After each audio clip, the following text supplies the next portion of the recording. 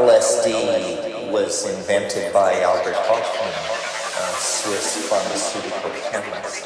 He was trying to invent drugs like Pitocin, drugs which induce labor, because uh, these ergotamine compounds are extremely efficient smooth muscle contractions. So they were exploring the possibility of a, of a drug patent